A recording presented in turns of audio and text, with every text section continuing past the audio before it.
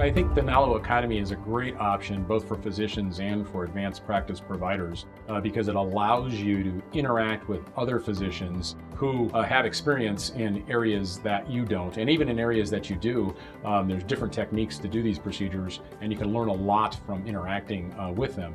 And it's a broad spectrum of education, including in-person events, including webinars, including peer-to-peers and whatnot. So I think that's a great option for anyone who's interested in getting involved in PNS and even people who are doing PNS to learn uh, new techniques and new options.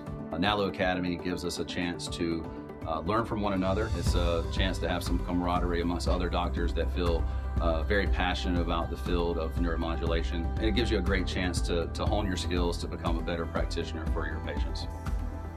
So the NALU Academy, I think, is a resource for physicians and APPs um, in the sense that they get hands-on cadaver training, as well as they form a community of physicians and APPs that helps guides them uh, along cases and uh, future topics that may come up in their practice. The reason we have the academy is for patients. That's why all of us went into medicine is to help folks. We're really trying to figure out new ways to leverage technology to help a patient at the end of the day.